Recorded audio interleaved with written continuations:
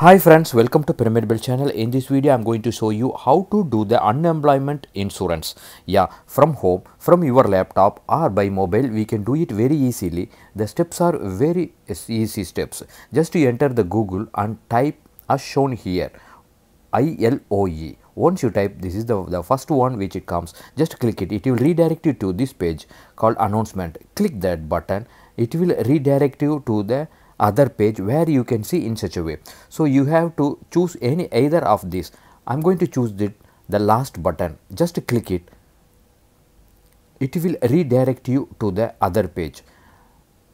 In this there are three kind of category one is private another federal and another one is non registered in MOEL. So, I am going to choose the third one. In this video I am going to do this by OTP method just click this with OTP method and we can do it. There is another method also with a registered user method. In this registered user method just click this button you have to enter the uh, UAID number or Emirates ID number and your mobile number and you have to click sign up. If you do not have already the sign up just you click the forget password. By doing this you can get an OTP to your email as shown here these are all the parts you need to fill. Once you fill all these items you will get the OTP in your email and you can do the insurance part. But in this video I am going to show you very easy step just by OTP method. As I told earlier just click the third button once you click it will redirect you to the OTP way click with OTP enter your Emirates ID number and mobile number and click the get button. Once get OTP button, you will receive OTP to your registered mobile number, enter it and click that button. It will redirect you to the main page where you can see all this kind of information to be filled as your name, passport number, mobile number, email address, your basic salary and from which country you are and you have to enter your company name and your gender.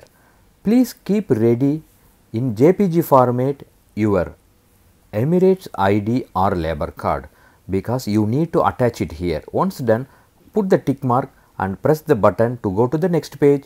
As you see here this is the next page for the confirmation with a hello message showing clearly which kind of category you are and the insurance amount which every month you have to pay. As you can see here 5 AD is the insurance amount for each month. So, in per year it is around 60 dirhams.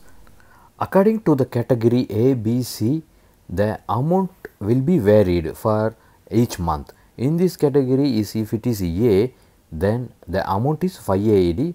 So, it will come 63 AED for per year. You can pay also for 2 years.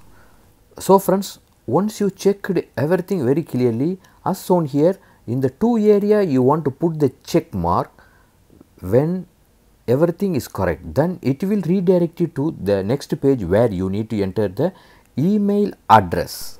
Please be sure when you type the email address it must be very correct because this is the address where you will receive the insurance copy. So, please take care while typing your email address.